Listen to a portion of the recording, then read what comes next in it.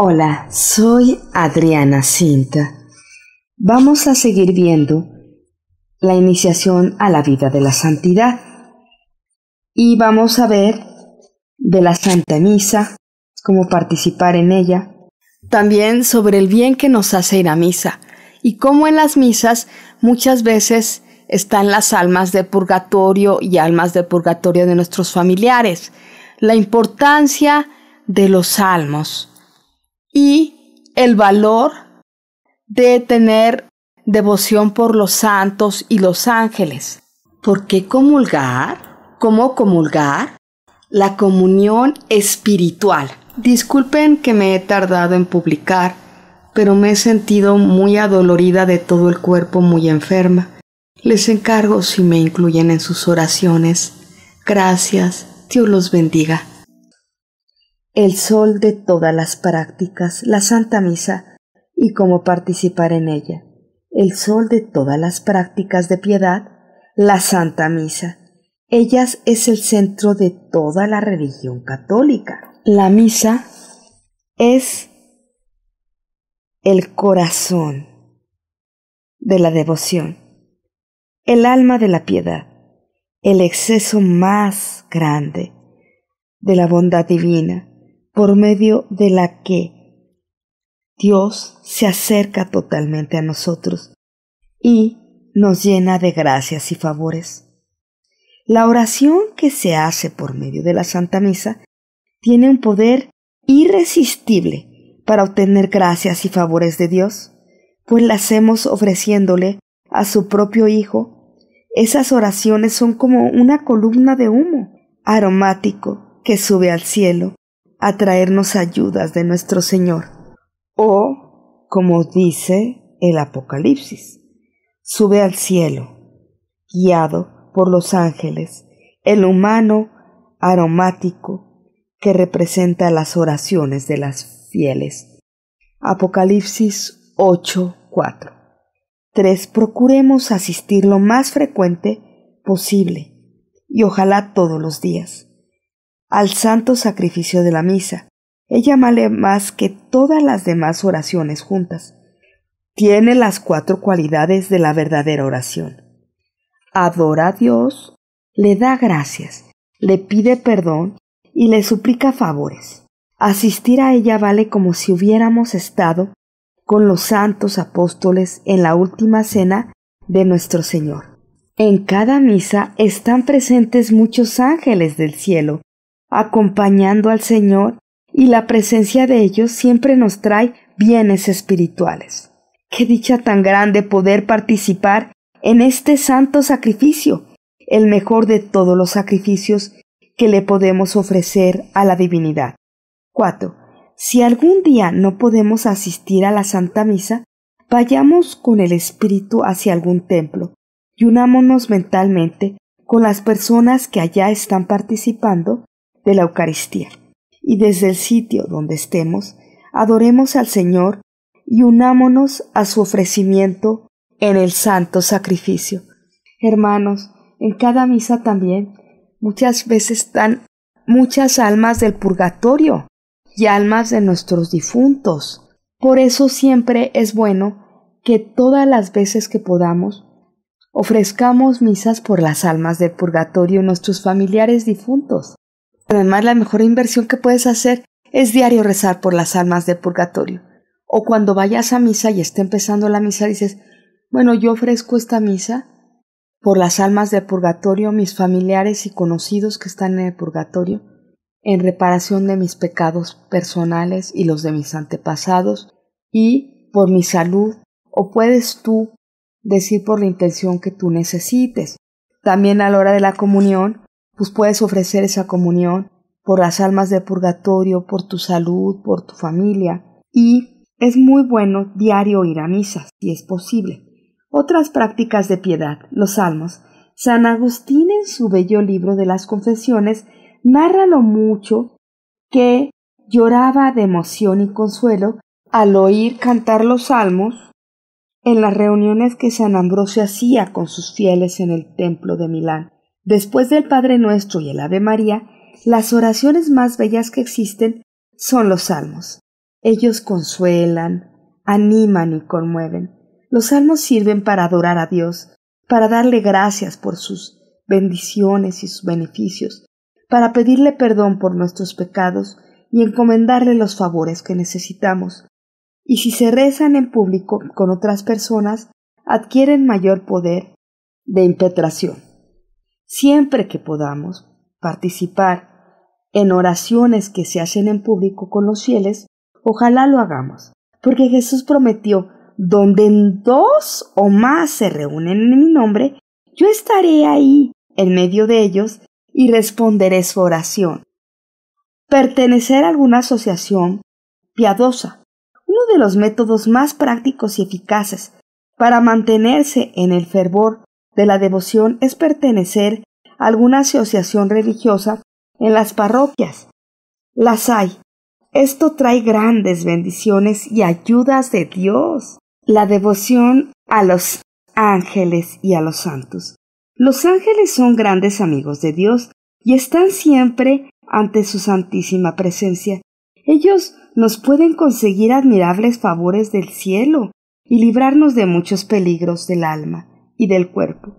El padre Fabro, el sacerdote de confianza de San Ignacio de Loyola, contaba que al llegar a cada pueblo y barrio o barrio, saludaba a los ángeles de los que allí estaban y que su vida diaria vio y sintió palpablemente las ayudas tan impresionantes de estos ángeles de Dios. Especial cariño debemos tener a nuestro ángel de la guarda, como decía San Bernardo, sentir mucho respeto por la presencia de él a todas horas junto a nosotros y encomendarnos a su protección, seguros de que no dejará nunca de ayudarnos y defendernos. No olvidemos darle gracias por sus continuos favores. Algunas personas, cuando quieren entenderse bien con alguien, se encomiendan a su propio ángel de la guarda y el ángel custodio de la otra persona para que los dos se pongan de acuerdo y logran efectos admirables. La devoción de los santos nos hace un gran bien. A nosotros nos puede suceder como a los pequeños ruiseñores, que de tanto oír cantar a sus padres, aprenden también ellos a cantar hermosísimamente. De tanto leer la vida de los santos, iremos aprendiendo a imitar sus ejemplos, que son provechísimos. Ellos, por su gran amistad con Dios y por su total cercanía al trono de la divinidad, lograrán conseguirnos favores que ni siquiera habíamos imaginado que lograríamos obtener. Honremos con especialísimo amor a la Virgen María. Acudamos a ella con el cariño de los hijos más cariñosos, a la Madre más bondadosa. Tengamos en ella una confianza total, a cualquier hora y siempre. Invoquémosla, sabiendo que jamás se ha oído decir que alguno que haya recurrido a ella sin obtener su protección y su ayuda. Y esforcémonos por imitar sus virtudes, su amor a Jesús, su humildad, su pureza inmaculada, su espíritu de servicio hacia los necesitados y su enorme fe. Escojamos a algunos santos para invocarlos más e imitarlos con mayor esmero. Estudiemos su vida y veamos en qué los podemos imitar y si llevamos el nombre de algún santo, tengámosle especial devoción a ese santo. ¿Cómo se ha de oír y leer la palabra de Dios? Capítulo 17, Filotea. Alma que amas a Dios, ojalá tengas un gran cariño y aprecio por escuchar y leer la palabra de Dios. Nada te hará tanto provecho quizás en la vida como ella. Esfuérzate por imitar a la Santísima Virgen, de la cual dice el Evangelio que meditaba la palabra en su corazón. Lucas 2.51. Jesús nos sigue repitiendo las palabras del Apocalipsis. He aquí que estoy a la puerta y llamo. Si alguien atiende a mi llamado, entraré en su casa y cenaré con él. Apocalipsis 3.20. Tres pasos. Así como para un matrimonio se necesita dar tres pasos, hacer la propuesta de matrimonio, recibir esa propuesta y que acepten y den su sí. De la misma manera hay tres pasos en la palabra de Dios. La propuesta de Dios, oír nosotros esa propuesta y tres, responder afirmamente a lo que Él nos propone. Como la tentación, así como en la tentación hay tres pasos. Primero, el mal pensamiento. Dos, la aceptación de ese mal pensamiento. Tres, el cometer el pecado. Así respecto de la palabra de Dios hay otros tres pasos, pero para bien. Primero, el buen pensamiento. El que aceptamos ese buen pensamiento. Tres, el que pongamos en práctica eso que nos ha sido aconsejado por nuestro Señor. Entonces lo voy a repetir. Primero, el buen pensamiento. Dos, el que lo aceptemos ese buen pensamiento. Tres, el que lo pongamos en práctica eso que nos ha sido aconsejado por nuestro Señor. Quien escucha la palabra de Dios y la pone en práctica es como casa edificada sobre roca. No la derrumban las tormentas de la vida. Mateo 7, capítulo 18. ¿Cómo se han de recibir las inspiraciones? Un disgusto para Dios. Sucede que si Dios nos habla por medio de su palabra, pero nosotros no le queremos escuchar ni poner en práctica lo que nos manda y nos enseña, puede disgustarse y repetirnos lo que en el Salmo 94 dijo a los israelitas. Durante cuarenta años esa gente me desagradó y dije, Este es un pueblo de corazón extraviado, que no quiere entrar por mi camino, por eso no entrarán en mi descanso. Así como un novio se disgusta cuando después de haber dado todas las demostraciones de afecto y aprecio a la novia, ésta se niega a aceptar su petición de matrimonio, de la misma manera nuestro Dios se disgusta si no aceptamos los que nos manda y lo que nos pide en su santa palabra. Sentir gusto por escuchar y leer la palabra de Dios y por recibir inspiraciones de lo alto es un verdadero regalo del cielo, y hay que pedirlo muchas veces. En esto se cumplirá lo que dijo Jesús, quien pide recibe, y quien busca encuentra. Pero no basta con sentir ese gusto por la palabra de Dios y por recibir inspiraciones, sino que es necesario esforzarse por practicar la palabra de Dios, porque a quien lee o escucha o recibe inspiraciones, pero no pone en práctica lo que se le dijo, Puede sucederle como a quien edificó su casa sobre arena, y creció el río y sopló el viento, y la casa se derrumbó, porque estaba edificada sobre arena. Mateo 7:27. Alma creyente, cuando escuches o leas la palabra de Dios, o recibas inspiraciones o buenas ideas para la santidad, acepta todo esto como embajadores de Dios, que vienen a proponerte entablar con Él una santa amistad, para obtener la gloria eterna. Pero recuerda que no basta con recibir mensajes, sino que es necesario esforzarse por llevarlos a la práctica, pues de otra manera se quedarán solamente con hojas, pero sin producir frutos.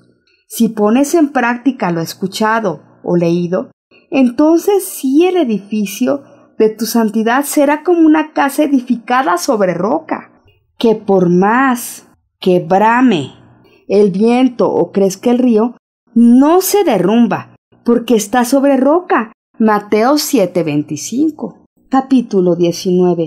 El sacramento de la confesión.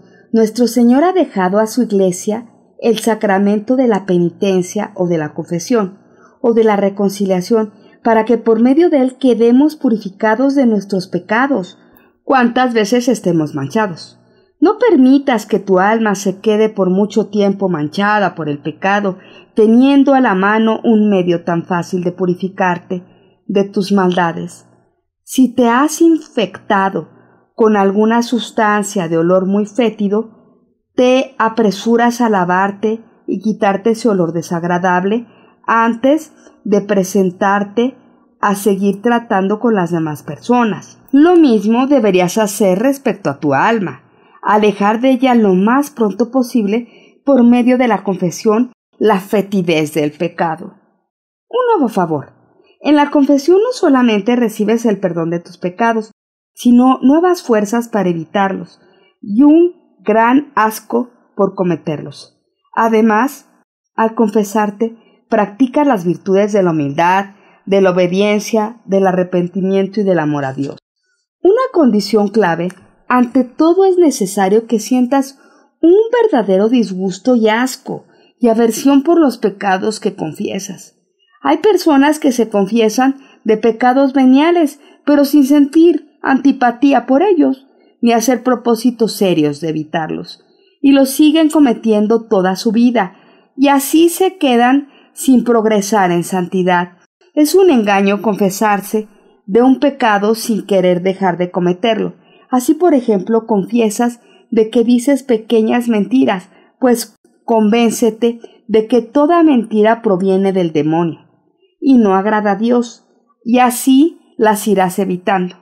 Si has dicho algunas palabras groseras, arrepiéntete. Piensa que el Divino Maestro ha dicho de toda palabra indebida que diga una persona, tendrá que dar cuentas el día del juicio. Mateo 12:36. Y haz el propósito de no volverlas a decir, porque sería un engaño evidente confesarte de algún pecado sin querer dejar de seguir cometiéndolo, pues precisamente uno de los fines de la confesión es el conseguirnos evitar los pecados que confesamos. Averiguar las causas. No te contentes con confesar los pecados, sino dedícate a averiguar por qué causas los cometes. Por ejemplo, si dices mentiras, ¿por qué las dices? ¿Será por orgullo?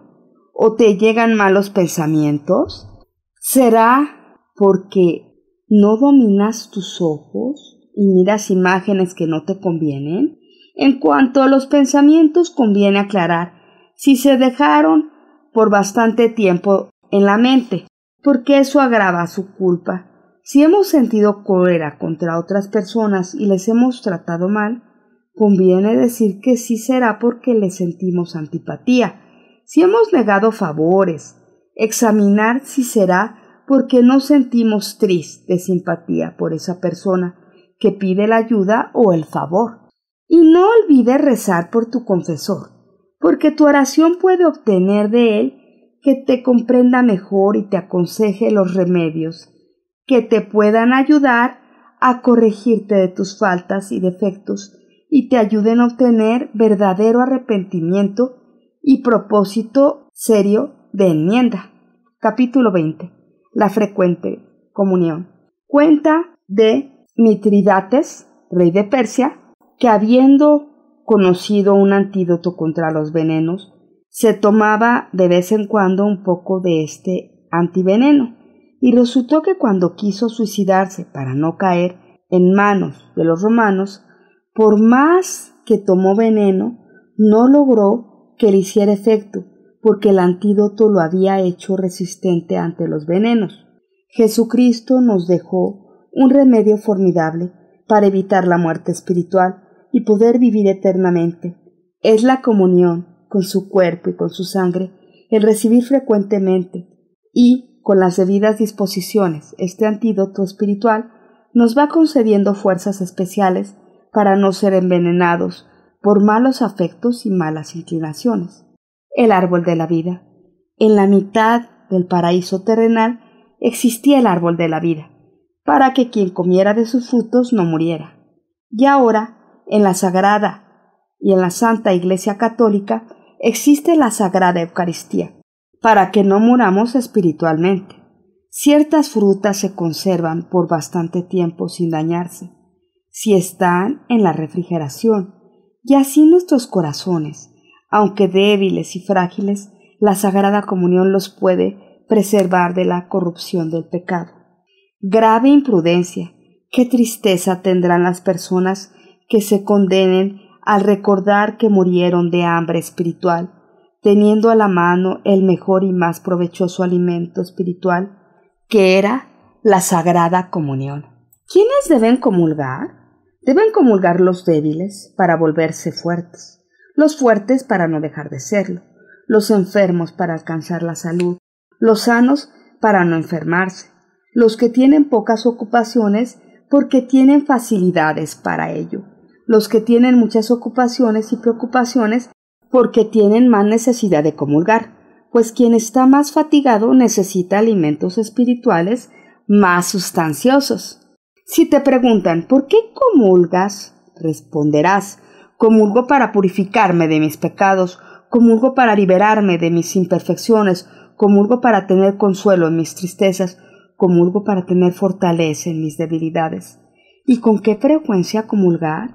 San Agustín decía que él no reprochaba a quien comulga frecuentemente si lo hace en gracia de Dios, es decir, sin tener pecado mortal en el alma, y con las debidas disposiciones y la debida preparación y acción de gracias cada vez. Quien desea comulgar frecuentemente debe luchar sin descanso contra sus malas inclinaciones. Señor, no soy digno de que entres en mi alma, pero una palabra tuya bastará para salvarme. Capítulo 21. ¿Cómo se ha de comulgar? Ojalá desde la noche anterior pienses y recuerdes que vas a recibir a Jesús en la comunión. Haz un acto de contrición pidiendo perdón al Señor por tus faltas. Recita con todo fervor el Señor no soy digno de que entres en mi casa, pero una palabra tuya bastará para sanarme. Pídele a Jesús que te prepare bien para recibirlo, y después de que lo has recibido, dale gracias, dile que lo amas, cuéntale que lo necesitas. Al recibir la comunión, levanta suficientemente la cabeza para que el sacerdote no tenga dificultad al darte la santa hostia. Piensa en aquellas palabras de Santo Tomás en el canto Panis Angelicus.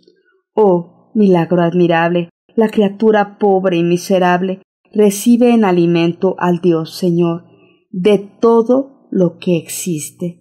Bendice por ello al Señor que nos dio a comer pan de ángeles.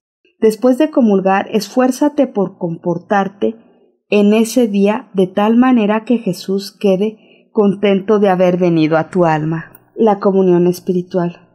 Cuando no pueda recibir a Jesús en la Santa Hostia, haz la comunión espiritual, que consiste en desear que Jesús venga espiritualmente a visitarte. Puedes decir, por ejemplo, Jesús mío, creo firmemente que estás presente en la Sagrada Eucaristía, con tu cuerpo, tu sangre, tu alma y tu divinidad. Deseo ardientemente recibirte pero ya que no puedo hacerlo ahora sacramentalmente, te pido que vengas espiritualmente a mi corazón, y como si ya hubieras venido, te alabo y te bendigo, y te pido que no te apartes nunca de mí. Amén.